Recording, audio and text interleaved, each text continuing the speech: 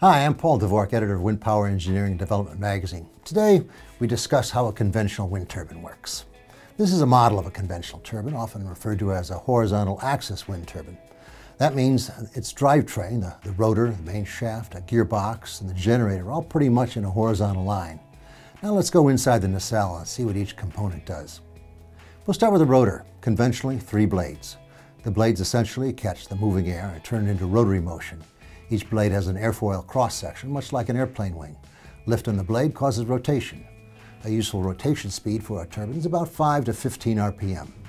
Here's the main bearing that supports the rotor and lets the main shaft turn. It's like a huge ball bearing, about 6 feet in diameter.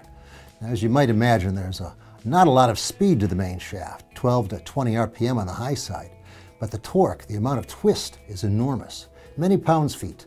A common four-cylinder engine, an automobile engine, might have 150 pounds-feet of torque. But the wind turbine shaft, for a common one and a half megawatt wind turbine working at capacity, would transmit about 700,000 foot-pounds of torque. But at that speed, 15 RPM, it's not too useful. A conventional induction generator needs about 1,000 RPM to produce useful electrical power.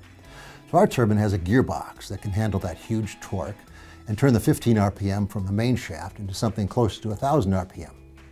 So at the back of the gearbox, a high-speed shaft connects to the generator through a coupling.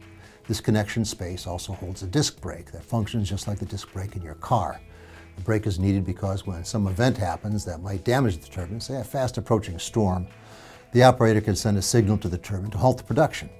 When this brake engages, it brings the rotor, to the gearbox, the generator to a halt, and it holds it there until the controls signal that the turbine's safe to start again. Now, if we walk a little bit farther back than the nacelle, we come to the generator. Most land-based wind turbines use induction generators. That simply means there, there are two sets of coils, one that turns and one that is stationary. Now, uh, that action produces electric current.